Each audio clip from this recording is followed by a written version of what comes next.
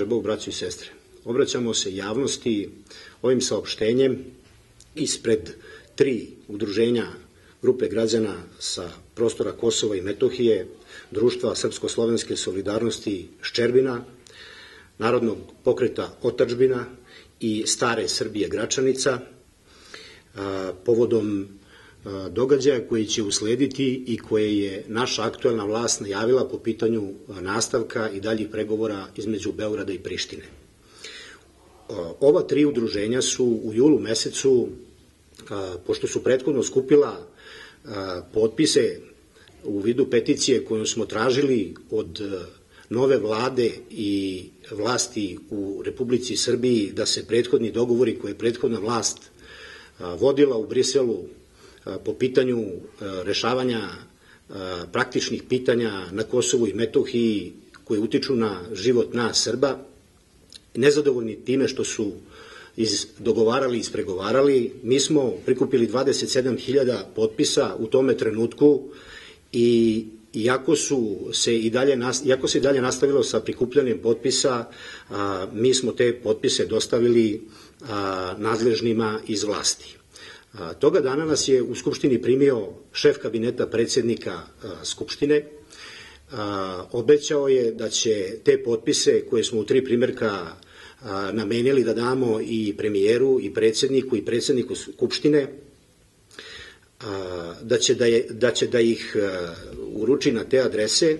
Međutim, mi od tada nismo dobili ni jednu povratnu informaciju kako je to sa njihove strane protumačeno, niti prihvaćeno, a kao povratnu informaciju dobili smo uveranje, uveravanja da će oni nastaviti dalje razgovore i pregovore po ovim pitanjima i da će se i dalje nastaviti ona situacija u kojoj mi, Srbi sa Kosova i Metohije, samo gubijamo, gubimo, ništa ne dobijamo. A, naravno, ono, ovo je samo jedan normalan sled događaja. Mi nismo odmah hteli da sa bilo kakvim saopštenjem izlazimo u javnost, međutim svakodnevnim najavama o nekim bolnim rešenjima koje treba da snađu srpski narod na Kosovu i Metohiji, mi smo uplašeni da će se politika koju je prethodna vlast vodila po pitanju pregovora nastaviti, te se ovim saopštenjem vama i obraćamo. Ono što moramo da istaknemo, da osim ova tri udruženja građana sa Kosova i Metohije, celu ovu akciju prikupljena potpisa su podržale i mnoge druge organizacije nacionalne i patriotske, među njima to su Srpsko nacionalno veće Severno Kosova i Metohije, to je Skupština zajednica srpskih opština Kosova i Metohije, to je Srpsko nacionalno veće Centralnog Kosova, Svesrpsko nacionalno veće Srbina okup, Slobodna Srbija dr. Deretić i mnoge druge patriotske i nacionalne organizacije koje su stale iza prikupljanja ovih potpisa i stale u odbranu nacionalnih interesa same države Srbije i srpskog naroda na Kosovu i Metohiji. Moramo ovim saopštenjem da vam kažemo da se plašimo da će, s obzirom da se međunarodnoj zajednici žuri da se ovaj, pitanje potpune nezavisnosti Kosova kao kvazi nove države na ovim prostorima privede kraju. Mi smo preko naših međunarodnih prijatelja dobili dokument u kome međunarodna upravljačka grupa nama poznata kao Međunarodna civilna kancelarija za nadgledanje nezavisnosti Kosova je izdala jednu analizu u kome i sama kaže da je ključni problem za potpunu nezavisnost te kvazi države nestabilna situacija na severu. Oni kažu da je sasvim izvesno da ta nova država, kvazi država Kosovo, sigurno je da nikada neće u nekom doglednom vremenu imati pune ingerencije nad delom severnog Kosova i Metohije.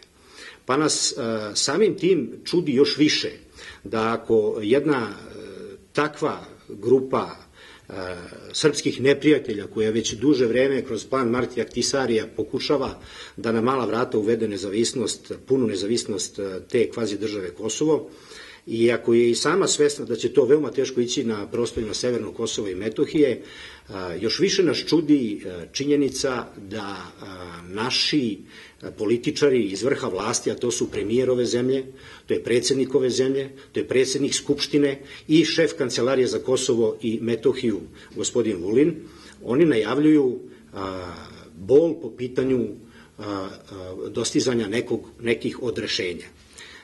Uplašeni ovim izjavama, poučeni onim što je prethodna vlada sa svojim predstavnicima uspela da nam negativno uradi i da nam oteža život, mi vam se ovim putem obraćamo i želimo samo da kažemo da ćemo i protiv ove nove vlasti, ako to bude uradila kao što je to činila i prethodna vlast, podneti krivične prijave preko grupe advokata koji su nam se dobrovoljno javili za tako nešto i tražit ćemo ocenu ustavnosti svih njihovih budućih postupaka i poteza koje budu želeli da po ovom pitanju povuku.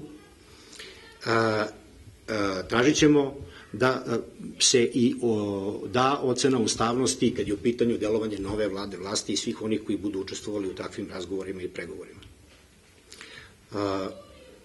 Smatramo da, s obzirom da smo u protili godinu dana, od kada je sve ovo počelo, od kada je krenulo da se na jedan bezobziran antiustavni način narušava bezbednost i život Srba na Kosovu i Metohiji, smatramo da je ovo još samo jedan u nizu normalnih i, i, i razumljivih poteza koje mi Srbi sa Kosova i Metohije moramo da povučemo kako bismo obezbedili sigurnost za nas, naše porodice i našu decu. Sticam okolnosti morali smo ponovo da se obratimo javnosti. Jer zbog spinovanja, zbog medijskog mraka koji dalje vlada prostorima Srbije i u slovenskim prostorima, stvari se vrlo brzo zaboravljaju. Zaboravljaju se i kada neko umre, i kada neko pogine, i kada je neko ubijen, i kada je bilo koja vrsta nesreće. A trenutno je na dijelu jedna ogromna nesreća, to je treći genocid u najnovijoj istoriji nad Srbima u srpskoj državi. Mi smo, kao što reče Saša, podnijeli peticiju koja ima skoro 30.000 potpisa, gdje se traže da se poništi svih sedam sporazuma koje su potpisali Borko Stefanović i Dita Takiri u uništavanju Srba i Srbije u Južnoj Srpskoj pokrajini. Odgovora nema. Trude se svi da bude, tresla se gora, rodio se miš. Nešto se desilo, bilo je buke po medijima nekoliko dana i na to se zaboravilo. Još gora stvar što se zaboravilo na našu peticiju. Zaboravilo se i na obećanja onih koji su sada u vlasti. Ovi koji sada drže vlast u Srbiji misle da ih je narod birao da bi oni nastavili politiku Evropske unije. Da bi nastavili da radi ono što je radio Boris Tadić, što je radio Borisa Stefanović. Grdno su se prevarili. Niko za njih nije glasao da bi se nastavilo jedno tisto, nego da bi se nešto promijenilo i to na bolje, ne na gore. Koje su posljedice tog njihovog rada koji apsolutno identično nastavljaju rad izvjesnog Borislava Stefanovića? Šta se desilo? Dobili smo smrt jednog starijega bračnog para Uroševca. Dobili smo prebijanje Srba u peći. Još jedno prebijanje kod Pasijana. Upad šiptarske specijalne policijske jedinice u Štrpce. Šta je sledeći? Ko sledeći treba da umre, ko sledeći treba da dobije batine, ko sledeći treba da završi u šiptarskom zatvoru da bi se neko u srpskoj vlasti pametio. A šta srpska vlast na to kaže? Šef kancelarije, pazite, kancelarije, ne ministarstvo za Kosovo i Metohiju, kaže da će uvesti linearni kosovski dodatak. Oni se držaju one stare Bogdanovićeve krilatice, kosovski dodatak damo, a šiptarsku platu ne damo. Ako ih interesuje pravda i socijalni položaj Srba na Kosovu i Metohiji, to je vrlo lako ostvariti. Pogledaju se spiskovi koje posjeduje i naša vlada, koje posjeduje i Jumnik, koje nažalost posjeduje i šiptarski organi i onda se vidi ko prima i šiptarsku i srpsku platu. I stvari se lako regulišu. Ko prima šiptarsku platu, on krši ustav i zakone ove države i mora da bude sankcionisan. Na njegovo mjesto primi se neko mlad, neko ko želi da radi, poštuje ustav i zakone ove države i stvar jednostavna. Dobijamo i socijalnu pravdu i dobijamo mir. Ali ne. Gospoda nastavlja ono što je započeo Borko Stefanović, koji je sad prisutniji u medijima nego kada je bio šef pregovoračkog tima. On jednostavno ne skida se s televizora. Umjesto čovjek koji je pod krivičnom odgovornošću da bude pred sudom i eventualno negdje zaključan i zatvoren, on nam drži pridike i govore i govorancije po Srpskoj skupštini. Ukidanjem kosovskog dodatka ili njegovim postepenim ukidanjem, kao što je već najavljivo ranije Goran Bogdanović, koji je inače bio ministar Bajrama Rađepija, to jeste ukinuti 50% kosovskog dodatka, a drugi 50% ne ukinuti, ukinuti odmah, nego hvatati narod na takozvanu proletersku priču da dobiju svi jednako. I na taj način obesmisliti sam kosovski dodatak. Šta treba? Da narod pređe da prima šiptarske plate. I zbog toga, još jednom zahtijevamo od vlade Republike Srbije, od predsjednika Republike Srbije, od predsjednika Narodne skupštine Republike Srbije, da podhitno ispune obećanja koja su dali u predizbornoj kampanji, koja su dali u ovom gradu na trgu Šumadija, da će poništiti sve neustavne akte i takozvane dogovore koje je postigla prethodna vlast i da će pomoći ovom narodu ovdje i čuvati ustavni poredak i rezoluciju 1244 Južnoj Srpskoj pokrajini. U slučaju da to ne urade, snošit će moralnu i svaku drugu odgovornost za sve ono zlo koje će se desiti u Južnoj Srpskoj pokrajini.